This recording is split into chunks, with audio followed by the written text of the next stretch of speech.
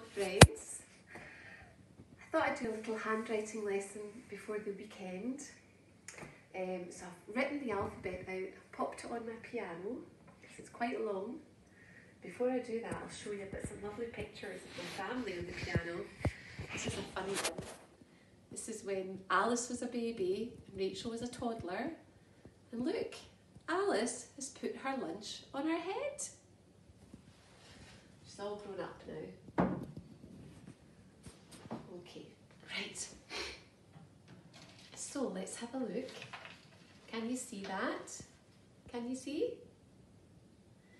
Okay, so let's see. Remember, we're not saying it hard or loud, soft, soft sounds. Ready? Ah. B. It's very soft. B, not B. B. B. B. K. D. A. Can you see? G. Feel that in your throat. G. G. G. Next sound is Feel it on your breath. Eh. We're going to be looking at k, kicking k today. Makes the same sound as curly k, but we write it differently. K.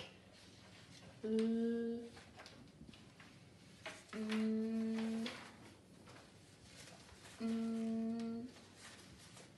O. Going to be writing O today.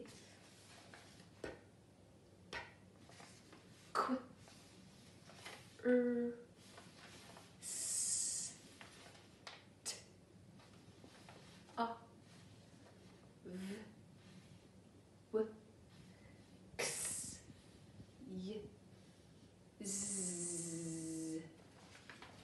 You could maybe try and make an alphabet strip.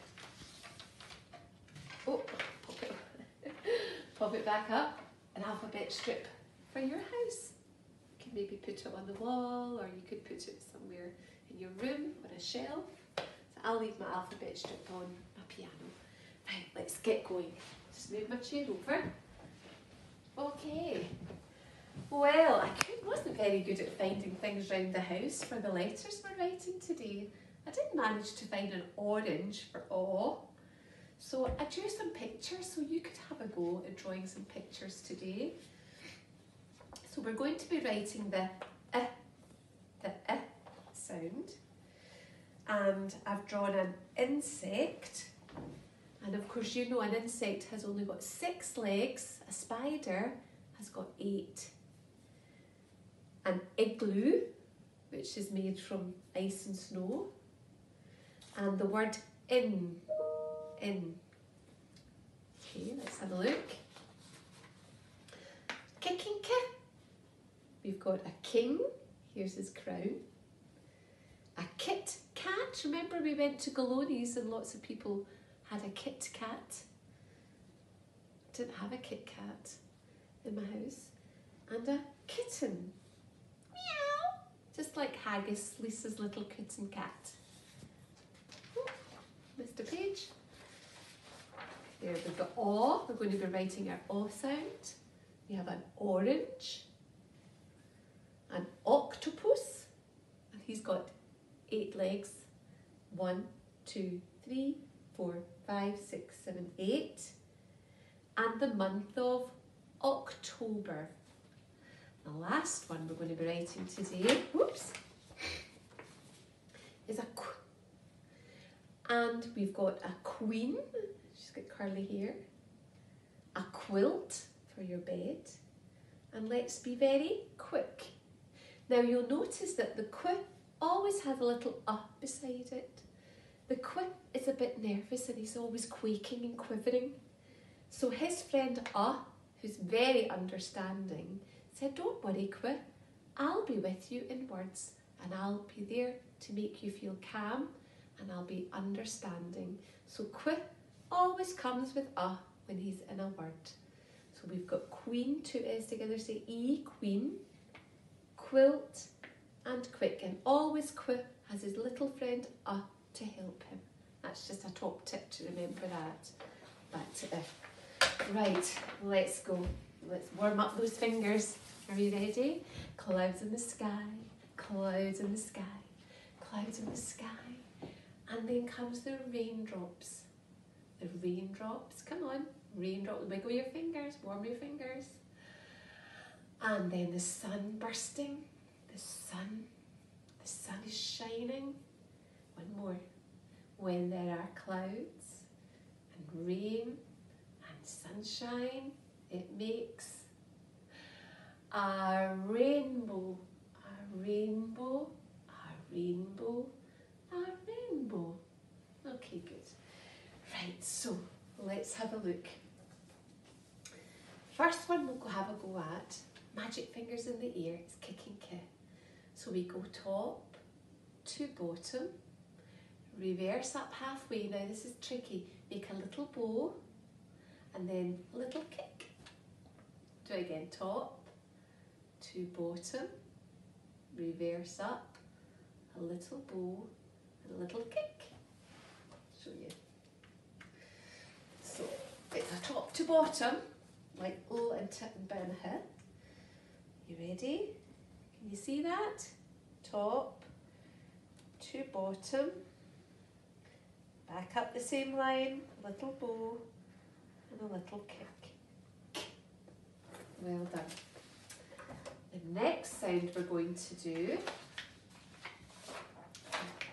king. The next sound is an eh. It's easy. It's small letter, middle-sized letter. Down, round, and a gentle press. Don't do a big scribbly ball. It just needs down, round, and a gentle dot. Can you see? Are you looking? It's a middle-sized letter a gentle dot. Kicking kit is much taller. Eh, I is just a middle-sized letter. The next one we're going to try is our O. O for orange, O for octopus, O for October. Here it is. It's on, it goes around, so it's with an A and a D and a G goes around, all the way around like a circle and back to the beginning. Okay, try that one in the ear.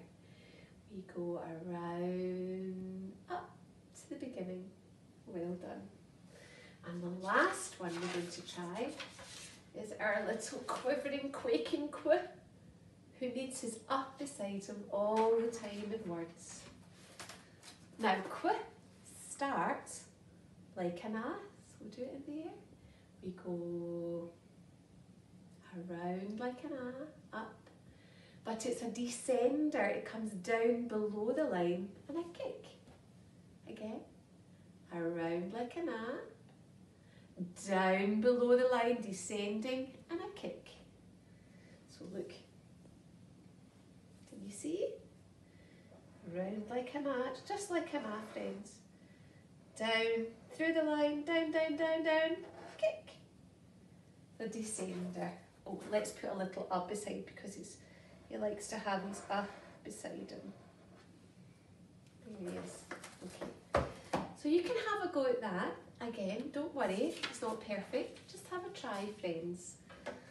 And before we finish, let's do a sentence. I've got my openers. I've got yesterday, or this morning, today, or at 10 o'clock.